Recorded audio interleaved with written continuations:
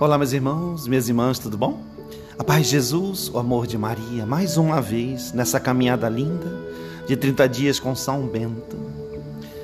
Nós estamos vivendo um tempo tão especial, né? Tantas graças, tantas bênçãos. Hoje, 16 dia, dia de Nossa Senhora do Carmo.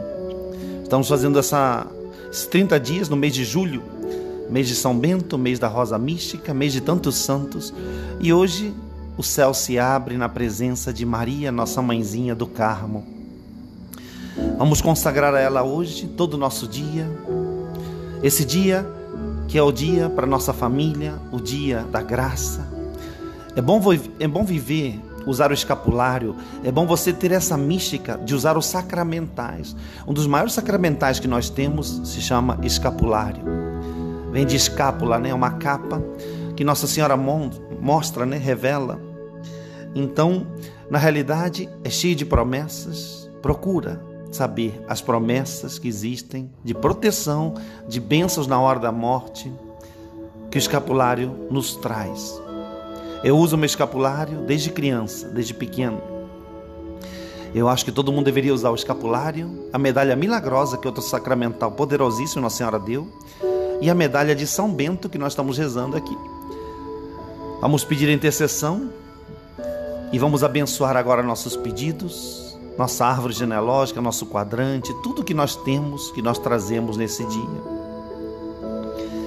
Pelo sinal da Santa Cruz, livra-nos, Deus, nosso Senhor, de todos os nossos inimigos espirituais, emocionais e carnais. Estamos reunidos em nome do Pai, do Filho, do Espírito Santo. Amém.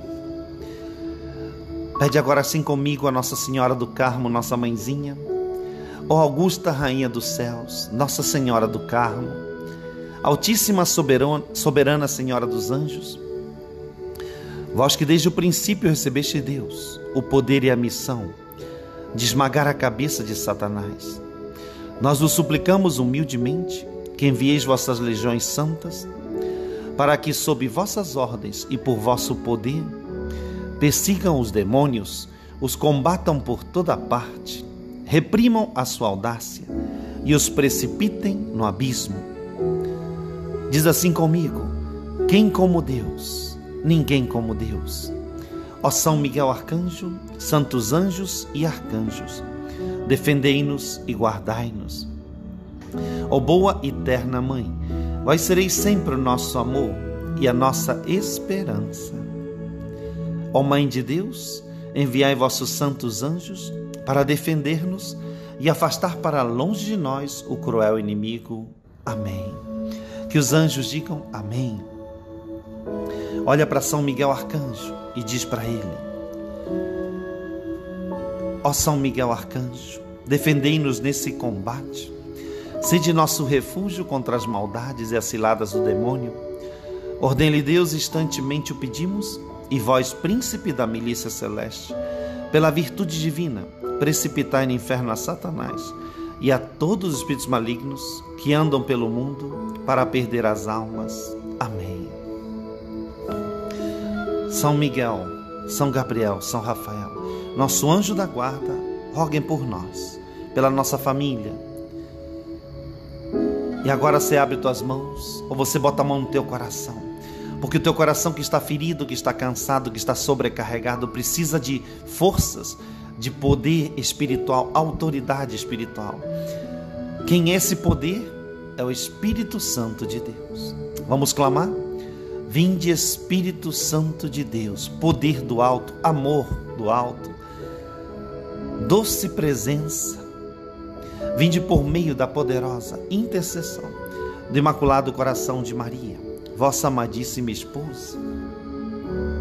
Vinde, ó Espírito, vai clamando, pede para você, para que te ilumine, para que te toque, para que te revele quem é Jesus. Se você sabe orar, se você puder, silencia, pausa a gravação e faz um silêncio gostoso. Começa a ouvir o que, Ele quer te falar no dia de hoje. Que, que Ele quer te indicar para hoje, para essa oração? Que pessoa está precisando de oração hoje? Que ele, ele vai te conduzir e falar assim: olha, reza por tal pessoa. Reza por tal pessoa da tua família ou fora da tua família. O Espírito Santo, gente, ele é incrível. Ele nos revela a verdade. Reza assim comigo. Segura teu crucifixo de São Bento, ou tua medalha, ou tua cruz normal, e você vai fazer uma libertação agora pela tua família. Com esse poder do Espírito Santo, com essa autoridade, nós levantamos nossa cruz e dissemos: A cruz sagrada seja minha luz e a luz da minha família. Não seja o dragão nosso guia. Retira-te, Satanás, da minha casa, da minha vida, da minha família. Nunca me aconselhes coisas vãs. É mal que tu me ofereces. Bebe tu mesmo do teu veneno. Em nome de Jesus. Amém. Que o Senhor Jesus Cristo cele com seu sangue, com suas chagas, toda a nossa vida, nossa família, tudo que temos e tudo que somos. Amém. Ó glorioso patriarca São Bento, oração da novena, né? Dessa novena de 30 dias. Ó glorioso patriarca São Bento, que vos mostraste sempre compassivo com os necessitados, fazei que também nós, recorrendo à vossa poderosa intercessão, obtenhamos o auxílio em todas as nossas aflições. Que nas famílias reine a paz e a tranquilidade. Afastem-se todas as desgraças, tanto corporais como espirituais, especialmente o pecado Alcançai do Senhor Jesus Cristo a graça que vos suplicamos nesses 30 dias de oração.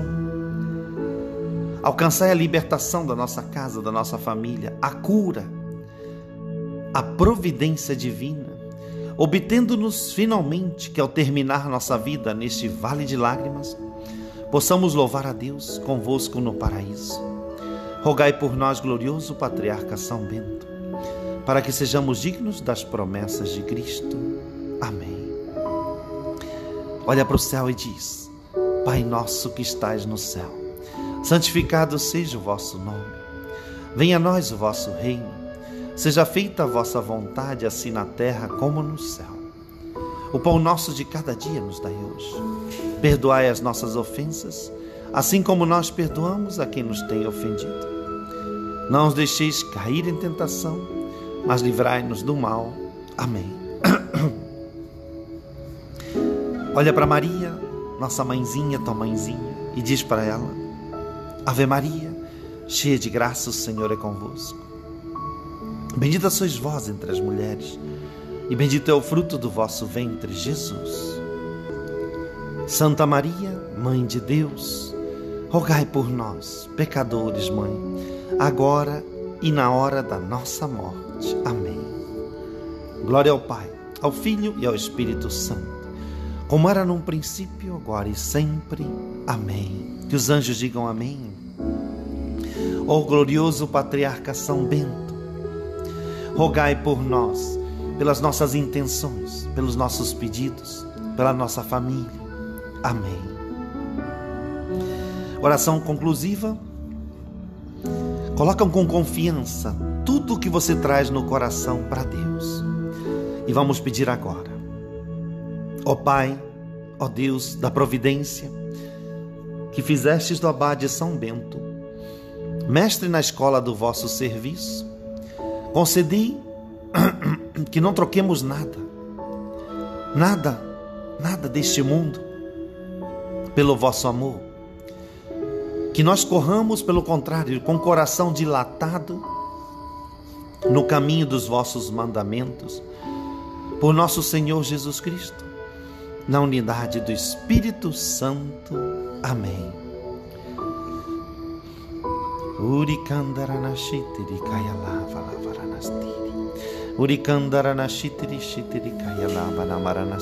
Pede agora. Urikandaranashitiri kayalava.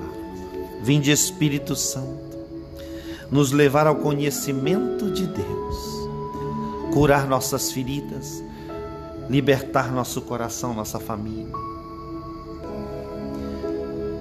Pede agora a cura dos teus pensamentos, a libertação, por onde é uma grande porta, a gente vai partilhar isso daqui a pouco. a grande porta por onde Satanás e os espíritos malignos têm destruído as pessoas, a tua família, as heranças que nós trazemos dessa vida, tudo que está gravado em nós. Aqui diz assim, 1 de Tessalonicenses 4, né? O Senhor quer que cada um de nós saiba usar o corpo que pertence a Ele de uma forma, de uma forma santa e honestamente. O teu corpo, a tua mente, ele vem do Espírito. Ele é templo do Espírito Santo. E muitas vezes nós não sabemos que precisamos de cura dos nossos pensamentos.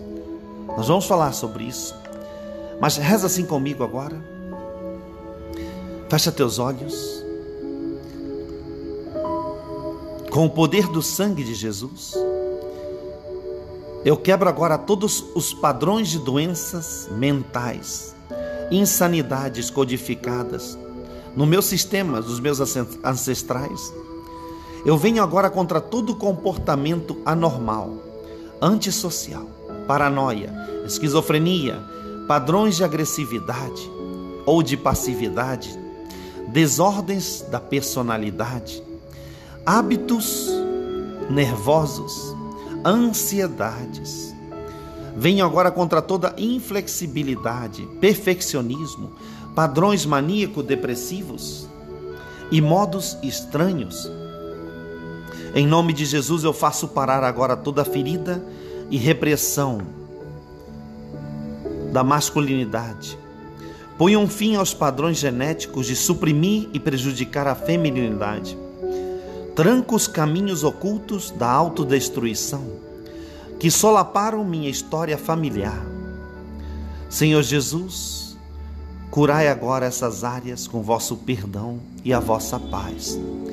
Pai, Pai de amor, que a saúde e a integridade mental sejam escritas no tecido da minha linha, da minha família. Que cada um tenha a mente de Cristo, os pensamentos de Cristo, que surjam pensamentos limpos, claros, de equilíbrios, equilíbrio emocional, padrões sadios de relacionamento. Eu venho contra todos os pensamentos profundos, sombrios, obscuros, de opressão espiritual e emocional, incapacidade de ser feliz, de se divertir, de expressar alegria eu vos peço, Senhor Jesus, que o Espírito Santo venha sobre nós agora, sobre meus filhos, sobre minha família, e que venha curar todos os pensamentos de morte, de suicídio, de depressão, de que não valem nada. Vem agora, Senhor Jesus, restaurando essa autoimagem porque a identidade está ferida. Esses pensamentos nos levam a uma identidade deformada e ferida. Muito obrigado, Senhor Jesus, porque sei que estás curando agora, poderosamente, todos esses pensamentos sombrios, deformados e que nos ferem, nos adoecem, nos aprisionam e nos destroem. A tua mão poderosa está cancelando agora, Senhor toda essa ação do maligno através dos pensamentos herdados e os pensamentos adquiridos e inflamados pelos dardos do maligno. Em nome do Pai, do Filho, do Espírito Santo. Amém. Diz para Maria Santíssima assim, nossa mãezinha: Ó minha Senhora, ó minha mãe, Nossa Senhora do Carmo, eu vos consagro, me entrego inteiramente a vós. Entrego meus pensamentos neste dia, mãezinha. E porque assim sou vossa boa e incomparável mãe, eu vos consagro, mãezinha, nesse dia os meus olhos, meus ouvidos, minha boca, meu coração, meus pensamentos, as ações, desse, os movimentos que eles têm dentro da minha alma, esses pensamentos. Eu vos consagro, mãezinha, inteiramente todo o meu ser. Consagro também minha família, os pensamentos da minha família. E porque assim somos vossos, ó boa e incomparável Mãe, guardai-nos, defendei-nos como coisa e propriedade vossa, como filhos muito, muito amados. Amém. Que os anjos digam amém. Vinde São Miguel Arcanjo destruindo com a tua espada esses pensamentos de morte, de destruição que nos afligem. Vinde Espírito Santo também agora, iluminando essas áreas escuras, feridas pelo pecado, pelo mal. Nós impomos as mãos agora, impõe a mão sobre tua família e você vai dizer assim: Que a bênção de Deus Todo-Poderoso, que é capaz de nos libertar de todo esse mal, se derrame agora sobre nós, sobre nossa família, sobre aqueles que nós estamos rezando, pela intercessão de Maria Santíssima, Nossa Senhora do Carmo, pela intercessão poderosa de São José, de São Bento, de São Padre Pio, dos arcanjos São Miguel, São Gabriel, São Rafael, nosso anjo da guarda, e todos os santos e anjos baluartes. Que Deus possa agora nos abençoar. Em nome do Pai, do Filho, do Espírito Santo. Amém. Que Deus também abençoe você que é nosso colaborador, você que nos ajuda, você que intercede, reza pelo Vinde Verde. Que Deus te abençoe abundantemente agora. Em nome do Pai, do Filho, do Espírito Santo. Amém. Meus irmãos, minhas irmãs, não é fácil falar sobre isso e o tempo é curto. Nós temos caído, infelizmente, nas armadilhas de Satanás e dos espíritos imundos. Lá em Romanos 12, versículo 2, se não me engano, eu estava lendo, diz, São Paulo vai falar que o nosso comportamento seja modelado pela nossa mente. Como é que eu posso ter um comportamento modelado pela minha mente se a minha mente está obscura, está doente, está adoecida? A medicina hoje em dia estuda as doenças psicossomáticas como grande fonte de origem de cânceres, de doenças autoimunes, de doenças terríveis mortais. E nós não damos a devida atenção aos pensamentos. E se você soubesse que o campo da luta entre São Miguel Arcanjo e Satanás não é uma luta física, corporal, mas é uma luta no campo das ideias, dos pensamentos. As influências malignas são seduções que vão atrair os teus pensamentos primeiramente. Porque tudo que os teus olhos veem, que os teus ouvidos ouvem, que a tua pele sente, o tato, todos os as sensoriais, os sentidos sensoriais, eles produzem pensamentos em nós. Você cria pensamentos. É a mesma coisa que eu falasse assim, ah, Arthur, você vai falar assim, eu controlo minha mente. Eu tenho total segurança que eu controlo minha mente. E se eu falasse você que a gente não controla nada? Por quê? Se eu falasse para você, olha, não pense em nada agora, você vai pensar numa folha em branco, você dizer assim, pô, tudo bem, vou esvaziar minha mente, você vai ver que eu controlo minha mente, eu vou esvaziar minha mente, e eu sou poderoso, eu sou poderosa, eu vou controlar agora toda a minha mente. Aí eu vou falar para você, não pensa num coelhinho branco de bolinha rosa. Mesmo que você queira controlar isso, mal a palavra saiu da minha boca, os teus ouvidos ouviram essa palavra, a imagem é tão veloz o pensamento é tão veloz, não sei se é tálamo, hipotálamo, que eles fazem uma comunicação interior, subconsciente. Aquilo que você conhece como coelhinho, vai se formar na tua mente um coelhinho branco, bonitinho, cheio de bolinhas rosa. Por mais que eu queira falar para você que não, você fala assim, não, eu controlei, eu controlei aqui, eu não vi, eu não consegui ver nenhum coelhinho. Só quando sai a palavra da tua boca ou da minha boca, um coelho, já se forma uma imagem na nossa cabeça porque são milhões, pela, pela ciência, são milhões, a comunicação que existe entre o cérebro, a voz, o som, é milhões de vezes. Milhões de vezes a velocidade da luz. Eu não sei qual a velocidade, eu sei que é muito rápido. Então, a velocidade do som. Bom, só sei que o seguinte: nós estamos prisioneiros dos nossos pensamentos e nós somente seremos livres quando nós conhecermos a origem desses pensamentos. Se lembra aquela frase de que você não pode impedir que os pássaros voem sobre a tua cabeça, mas você pode impedir que eles façam ninhos na tua cabeça? É uma frase de cura interior profundíssima, maravilhosa, de sabedoria. Por quê? Porque Vitor Hugo dizia que a imaginação é a louca da casa, né? Que se ela ficar solta, ela quebra tudo, destrói tudo. Olha só, os grandes pensadores naquela época tinham muito medo da imaginação solta, livre, quando ela está descontrolada. Então, quais são os freios para a imaginação, para os pensamentos negativos, sombrios, para essas influências malignas? Eu vou tentar encurtar essa conversa, que ela seria muito longa, muito filosófica, e a gente per perderia a, a unção que eu quero chegar, onde eu quero chegar. Né? Na realidade, o que acontece? A gente não pode impedir realmente que os pensamentos venham até nós, que as tentações venham até nós. Mas a parte interior da alma, como diz São João da Cruz, tem dois guardas. É a coragem, né? A vontade e a coragem se unem e elas creem. A fé. Sem fé, você não consegue vencer isso. Por mais moralista que você seja, por mais cheio de padrões de morais que você tenha, você pode ser uma pessoa moral exteriormente, mas no teu interior vai estar podre, vai estar estragado. As pessoas, por isso se chamam os fariseus, os saduceus, aquelas os publicanos, eram como Jesus compara eles como sepulcros caiados. O que é caiados?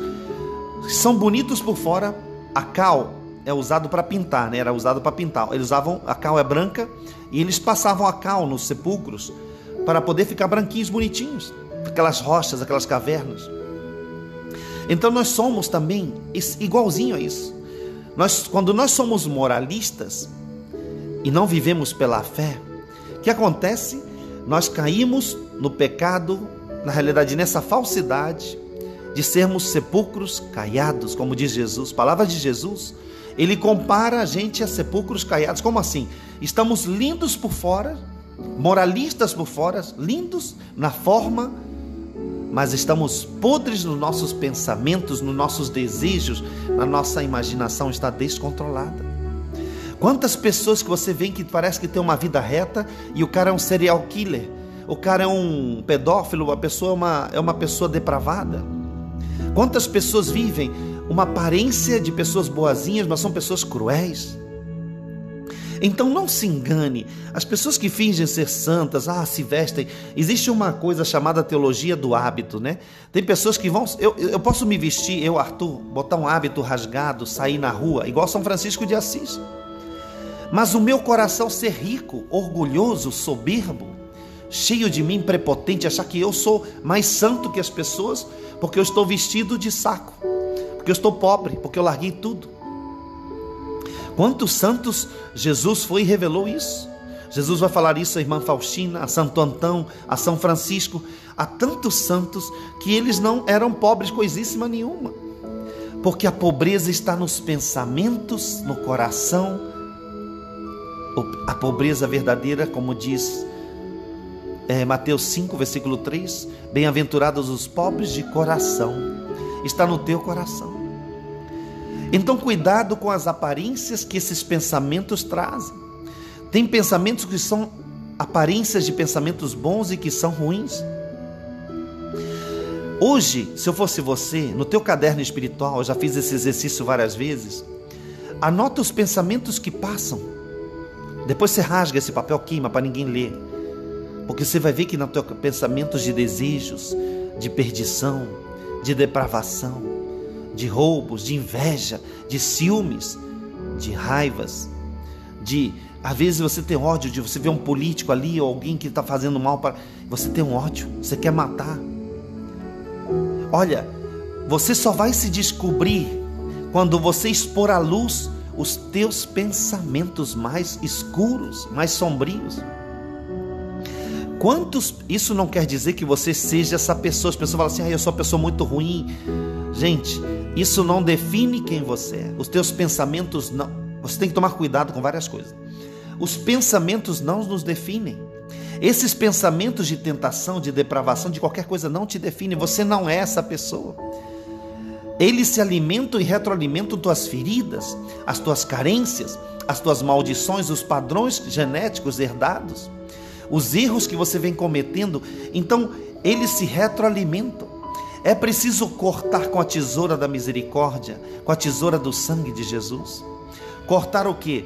Todos esses laços, esses laços do mal, correntes do mal.